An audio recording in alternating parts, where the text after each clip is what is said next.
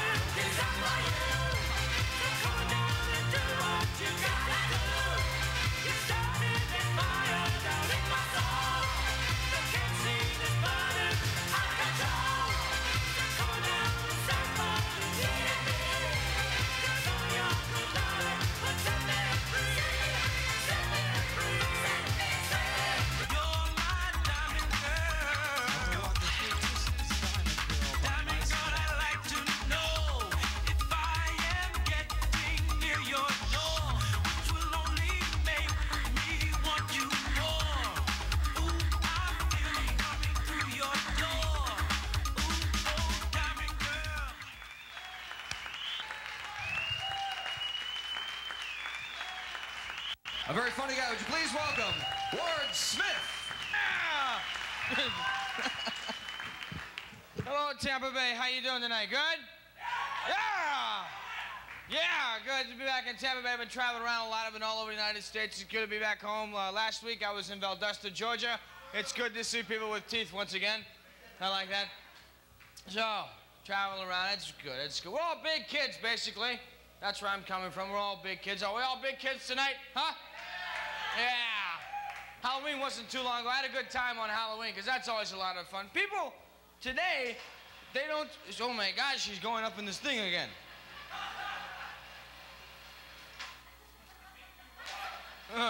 Sweet pain, make me scream. it looks like something in E.T. That was a great movie, though, E.T. But let's get serious, though. Something lands in my backyard at 3 o'clock in the morning with big eyes and looks like a dried up squirrel. Um, I don't think I'm gonna go back into my kitchen and bring it back any Reese's Pieces, that's for sure. I'm coming back with a shotgun and a hefty bag, folks. That's what I'm doing. oh my God. Well, this was fun on Halloween, though, around here. This club was hopping on Halloween, man. Every place was hopping around on Halloween. I noticed, though, that there's no kids that are trick or treating anymore. When we were kids, we were some trick or treating mamma jammas, weren't we? Everywhere. We had it down to a science. We didn't have these little faggy, wimpy Kmart bags that said boo on them. No. We had mom's best pillowcase. That right we did. Big old satin ones they got on a wedding night, man. You go two, three houses max. Get that thing loaded down with candy. Come dragging it home. Dump it on the living room floor. Go back to the same three houses. Trick or treat. What you here before? Must have been a guy in the same costume. Fill it up. Dump it on the living room floor, bring all your friends over, and you start trading, right? well, you know what was going on. And you had candy for days. You had candy in your lunch boxes, you had candy in your shoes, you had candy in your in your bed for crying out loud. And the novelty wore off, and you kind of stuck it in mom's way, all that leftover candy, because mom has a good way of usually wiping out and destroying everything that belongs to you. That's in her beaten path. But it always shows up around Christmas time in your Christmas stocking. And you know it's Halloween candy because it's got your little black and orange cats all over it and the pumpkin's going on it. it's that candy you can't open up for a long time. Oh. Childhood stuff. I was talking with the other guys about hanging out with our G.I. Joes. You guys remember G.I. Joes? Yeah. Kung Fu Grip, lifelike hair. Dun, dun, dun. I think Kung Fu Grip came out at the same time that Barbie Camper did. Joe's home from the war. Sure. I used to put Barbie doll clothes on my G.I. Joe so he wouldn't have to go to Vietnam. I was kind of a strange kid. My mother was the kind of woman, you probably had the same kind of mother too.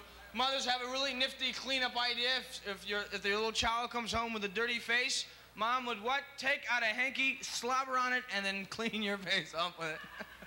my mom just went, wash your face. How you doing, Dad? I was in my old neighborhood. I, I saw a sign. It's still out there. It's been out there for 23 years. It says, slow children at play.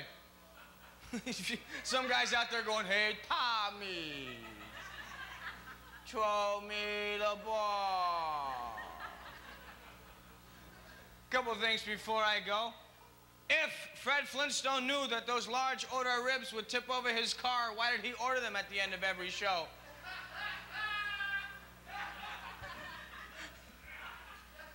If you go to a funeral at night, do you have to turn the lights on your car off?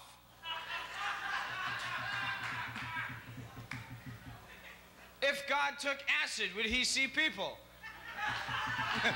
the band likes that one.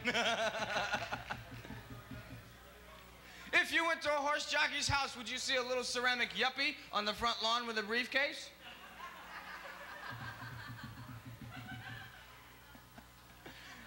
If you only say things one time, does that make you dundant?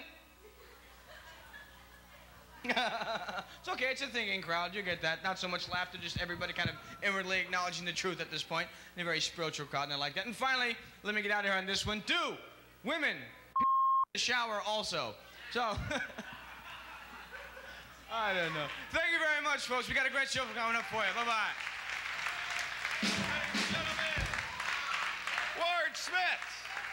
A funny guy. Now we're going to the Johnny G. Lion Band. I love live TV. Go!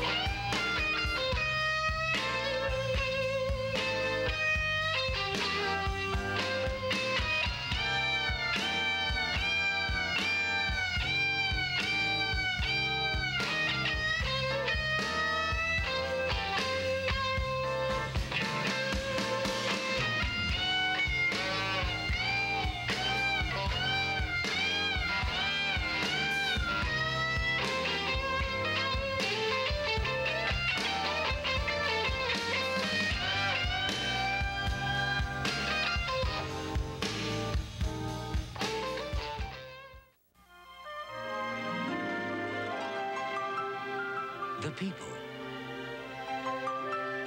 The places. The learning. The adventure. The world is waiting. Be an exchange student. Write Youth Exchange, Pueblo, Colorado, 81009. When you graduate from college, what will you be able to offer an employer?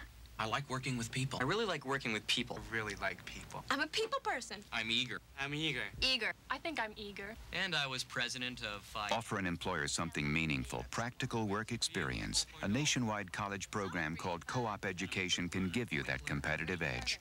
And I'd even relocate. Write Co-op Education. It's the experience you need for the job you want. Last year, the federal government wasted $600 million maintaining obsolete computers. It wasted $25 million on duplicate mailings and paid out over $5 billion in mistaken benefits. You'd think in all the years of man's development, we'd have learned by now how tragic it is to waste something you worked so hard to get. For more information on how your hard-earned tax dollars are being spent, call Citizens Against Government Waste, 1-800-USA-DEBT.